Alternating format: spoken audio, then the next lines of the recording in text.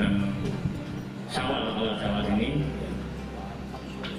Allah telah memberikan nikmatnya. Tidak lama di sini mungkin cuma dua minggu saudara kita rekan kita menyusul kawan-kawan yang mendahului sembuh. Ini adalah yang ketiga untuk saat ini. Terima kasih sekali lagi terima kasih. Kami Dokter dan pak mungkin bisa dicarikan teori Pak ya kenapa kok kita cepat tingkat kesembuhannya salah satunya juga mungkin karena disiplin ya